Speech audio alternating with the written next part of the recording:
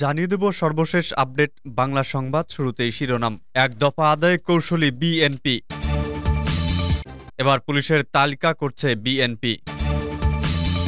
আওয়ামী লীগ দেশের নির্বাচন ব্যবস্থাকে তামাশায় পরিণত করছে বলছে জামায়াত। সরকারি দলের ক্যাডাররা কন্ট্রাক্ট কিলিংয়ে মেতেছে বললেন রিজভি। সর্বশেষ জানিয়ে দেবে বা সংগঠন গড়লেন বিএনপি জামায়াতের বিদ্রোহী আইনজীবীরা। এতক্ষণ শুনছিলেন সংবাদ শিরোনাম, এবারে বিস্তারিত। আজকের সংবাদ সম্পর্কে আপনার মূল্যবান মতামত কমেন্ট করে জানিয়ে দিন। জানিয়ে দিন কোন স্থান থেকে আমাদের সংবাদ শুনছেন এবং দেখছেন। আমাদের ইউটিউব চ্যানেলটি সাবস্ক্রাইব করুন এবং আমাদের ফেসবুক পেজটি ফলো করুন। সংবাদটি সবার মাঝে শেয়ার করে ছড়িয়ে দিন। এক দফা আদায় কৌশলী বিএনপি এক দফা দাবিতে আন্দোলন করার সিদ্ধান্ত নিয়েছে বিএনপি যদিও এক দফার কয়েকটি শর্ত যুক্ত থাকবে। আসন্ন ঈদুল আজহার পর এই এক দফা কর্মসূচির ঘোষণা দেওয়া হবে। ঘোষণায় আগের দশ দফা কর্মসূচি থেকে এক দফা আসার ব্যাখ্যা থাকবে। এক দফা দাবির ঘোষণা দেওয়ার সময় সারা দেশে রুটিন কর্মসূচি দেওয়া হবে।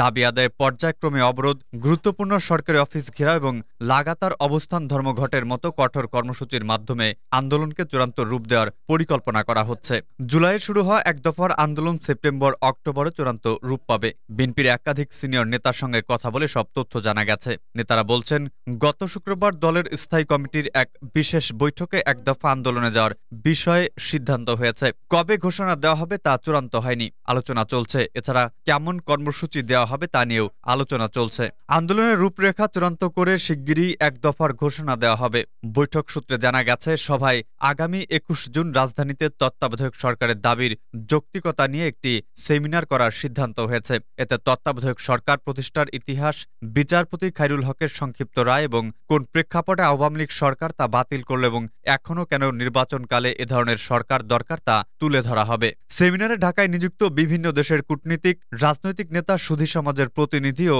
পেশাজীবী নেতাদের আমন্ত্রণ জানানো হবে। এর আগেই এক দফার ঘোষণা দিয়ে লাগাতার কর্মসূচি দেওয়া হবে। সব দল কিংবা জোট আলাদা আলাদাভাবে এক দফা ঘোষণা করবে। ঢাকায় বড় সমাবেশ বা জমায়েত করে এক দফার ঘোষণা দেওয়ার কথা ভাবা হচ্ছে। দলীয় সূত্রে জানা গেছে, এক দফা বলা হলো এতে কয়েকটি শর্ত যুক্ত থাকবে। এক দফার লিখিত ঘোষণায় বলা হয়েছে, বাংলাদেশের জনগণ ভোটাধিকার হরণকারী বর্তমান ফ্যাসিবাদী, কর্তৃত্ববাদী সরকারের পদত্যাগ এবং বিদ্যমান অবৈধ সংসদের বিলুপ্ত, নির্বাচনকালে নিরপেক্ষ সরকার গঠন করে তার অধীনে অবাধ, নিরপেক্ষ গণতান্ত্রিক অংশগ্রহণমূলক এবং বিশ্বাসযোগ্য নির্বাচনের ব্যবস্থা খালেদা জিয়া সহ সব রাজবন্দির মুক্তি, রাষ্ট্র কাঠামো মেরামত ও তার গণতান্ত্রিক রূপান্তরের লক্ষ্যে প্রয়োজনীয় সাংবিধানিক এবং শাসনতান্ত্রিক সংস্কারের মাধ্যমে জনগণের ভোটাধিকার এবং গণতন্ত্র প্রতিষ্ঠার এক দফা দাবিতে রাজপথে সক্রিয় বিরোধী রাজনৈতিক দল ও জোটগুলো যুগপথ ধারায় ঐক্যবদ্ধ বৃহত্তর গণ আন্দোলন গড়ে তোলা ও সফল করার ঘোষণা প্রদান করেছে। এই ঘোষণা জোটবদ্ধভাবে দেওয়া হবে না। যুগপথ আন্দোলনে অংশগ্রহণকারী জোট দলগুলো নিজ নিজ অবস্থান থেকে একই দাবিতে অভিন্ন কর্মসূচি ঘোষণা করবে। দাবি আদায় না হওয়া পর্যন্ত এই আন্দোলন চলবে। শেখ হাসিনার সরকারের অধীনে নির্বাচনে না যাওয়ার ঘোষণা দিয়ে গত দশ ডিসেম্বর রাজধানীতে সমাবেশের মাধ্যমে দশ দফা ঘোষণা করে বিএনপি।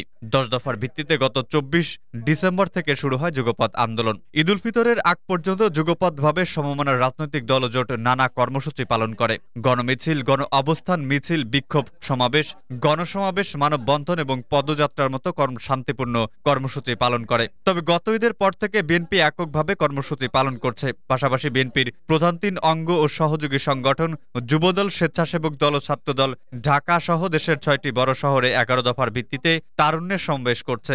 আজ সোমবার বগুড়া সমাবেশ অনুষ্ঠিত হবে। আগামী বাইশ জুলাই ঢাকায় সমাবেশের মধ্য দিয়ে তা শেষ হবে। এক দফা দাবি আদায়ে আন্দোলনের কর্মসূচির ধরন কেমন হতে পারে তা নিয়ে দলের একাধিক সিনিয়র নেতা জানান, মার্কিন ভিসা নীতির কারণে এখন এই সহিংস কর্মসূচিতে যাবে না বিএনপি। জনগণ সহিংস কর্মসূচি চায় না, তবে দলের তৃণমূল নেতারা কঠোর কর্মসূচি চান। সেক্ষেত্রে অবরোধ, অবস্থান, ধর্মঘট ও ঘেরাও কর্মসূচি নিয়ে আলোচনা চলছে। চূড়ান্ত দাবি আদায়ের সড়ক ও রেলপথ এবং নৌপথ অবরোধের মতো সিদ্ধান্ত আসতে পারে। এছাড়া সরকারি অফিস যেমন ইউএনওর কার্যালয়, স্থানীয় নির্বাচন অফিস, থানা, জেলা প্রশাসকের অফিস এবং এসপি অফিস ঘেরাওয়ের কর্মসূচি দেওয়ার পরিকল্পনা রয়েছে।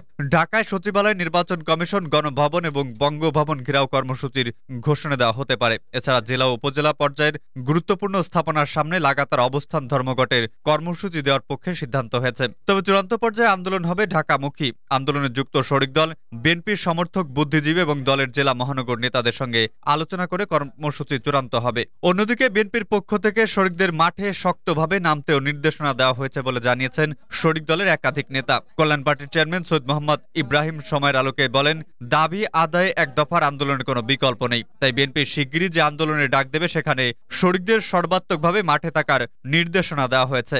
বিএনপির স্থায়ী কমিটির সদস্য আমির খসরু মাহমুদ চৌধুরী বলেন, নির্বাচন ঘনিয়ে আসছে, তাই দ্রুত সময় বিএনপি শান্তিপূর্ণ এক দফার আন্দোলনের জন্য বিএনপি ও তার মিত্ররা প্রস্তুত। এক দফার আন্দোলনের কোনো বিকল্প দেখছে না তিনি। এ বিষয়ে বিএনপির স্থায়ী কমিটির সদস্য গয়েশ্বর চন্দ্র রায় সময়ের আলোকে বলেন, দলীয় ফোরামে এক দফা আন্দোলনে যাওয়ার বিষয়ে আলোচনা হয়েছে। সেই আলোচনা চলছে। এটা আলোচনার মধ্যে আছে, এখনও সিদ্ধান্ত হয়নি। তবে এক দফা আন্দোলনে যাওয়ার বিষয়ে সিদ্ধান্ত হয়েছে। দলের এই সিনিয়র নেতা বলেন, এক দফা আন্দোলনের ব্যাখ্যা আমরা আগাম দেব না এক দফার ঘোষণা জুন বা জুলাইতেও হতে পারে। এক দফা কি হবে সেটা দলের সিদ্ধান্ত। এটা আমি আলাদাভাবে বলতে পারি না। দলের পক্ষ থেকে জানানো হবে, কেন এক দফা আন্দোলনে যাব যখন এক দফা ঘোষণা করা হবে তখন ব্যাখ্যা দেওয়া হবে। এ বিষয়ে জানতে চাইলে বিএনপির স্থায়ী কমিটির সদস্য সেলিমা রহমান সময়ের আলোকে বলেন, শিগগিরই এক দফা আন্দোলনের ঘোষণা দেওয়া হবে। এর মধ্য দিয়ে চূড়ান্ত পর্যায়ের আন্দোলন শুরু হবে। পুলিশের তালিকা করছে বিএনপি। নিরপেক্ষ সরকারি অধীনে নির্বাচনের দাবিতে আন্দোলনে থাকা বিএনপির মাঠের কর্মসূচির বাইরেও সরকারকে চাপে রাখতে নানা কর্মকাণ্ডে জোর দিচ্ছে। বিশেষ করে মার্কিন যুক্তরাষ্ট্রের নতুন ভিসা নীতি ঘোষণার পর তারা আইন শৃঙ্খলা বাহিনীর বিভিন্ন পর্যায়ের কর্মকর্তাদের তথ্য উপাত্ত সংগ্রহ করছে দলটি। দলীয় সূত্র বলছে, দিনে দিনে এই তালিকায় পুলিশের ঊর্ধ্বতন কর্মকর্তাদের পাশাপাশি কনস্টেবল পর্যায়ের সদস্যদের নামও যুক্ত হচ্ছে। বিএনপির এই বিশেষ তালিকায় এ পর্যন্ত আটশো দুজন পুলিশ সদস্যের নাম যুক্ত হয়েছে বলে জানা গেছে। দায়িত্বপ্রাপ্তরা বলছেন, বাংলা ও ইংরেজিতে আলাদা করে তৈরি এই তালিকা যুক্তরাষ্ট্র সহ বিভিন্ন দূতাবাস ও আন্তর্জাতিক সম্প্রদায়ের কাছে পৌঁছানো হচ্ছে। আওয়ামী লীগ দেশের নির্বাচন ব্যবস্থাকে তামাশায় পরিণত করেছে বলছে জামায়াত।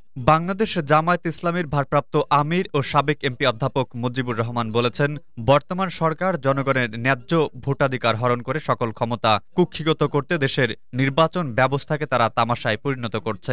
দীর্ঘ পনেরো বছরের শাসন আমলে বাংলাদেশ থেকে গণতন্ত্র আইনের শাসন, মানবাধিকার, মত প্রকাশের স্বাধীনতা, কথা বলার অধিকার এবং মৌলিক মানবাধিকার সম্পূর্ণরূপে ধ্বংস হয়ে গিয়েছে। রোববার বাংলাদেশ জামায়াত ইসলামের কেন্দ্রীয় মজলিসে সুরার অধিবেশনে সভাপতিত্বের বক্তব্যে তিনি এসব কথা বলেন। মুজিবুর রহমান বলেন, বাংলাদেশ জামায়াত ইসলামের কেন্দ্রীয় মজলিসে সুরা লক্ষ্য করেছে যে দুই হাজার আট সালে সেনা সমর্থিত তত্ত্বাবধায়ক সরকার সাজানো নির্বাচনের মাধ্যমে বর্তমান আওয়ামী লীগ সরকার ক্ষমতায় আসে। সরকারি দলের ক্যাডাররা কন্ট্রাক্ট কিলিংয়ে মেতেছে অভিযোগ রিজভির। বিএনপি সহ গণতন্ত্রকামী মানুষের বিরুদ্ধে সরকারি ক্যাডাররা এখন কন্ট্রাক্ট কিলিং ও টার্গেট কিলিংয়ে মেতে আছে উল্লেখ করে বিএনপির সিনিয়র যুগ্ম মহাসচিব রুহুল কবির রিজভি বলেছেন, দেশবাসী ভোট ও পার্লামেন্ট হারিয়েছে। গণতন্ত্র আইনের শাসন হারিয়েছে হারিয়েছে সংবাদপত্রের স্বাধীনতা। শেষমেশ হারাতে বসেছে জীবন ও স্বাধীনতা। তিনি বলেন, যারা গণতন্ত্র, মত প্রকাশের স্বাধীনতা সহ নাগরিক স্বাধীনতা ফিরে পাওয়ার জন্য সংগ্রাম করছে, তারা বর্তমান মারাত্মক দুর্দিনের মধ্যে দিন যাপন করছে। রোববার দুপুরে রাজধানীর নয়াপল্টনে দলের কেন্দ্রীয় কার্যালয়ে আয়োজিত এক সংবাদ সম্মেলনে তিনি এসব কথা বলেন।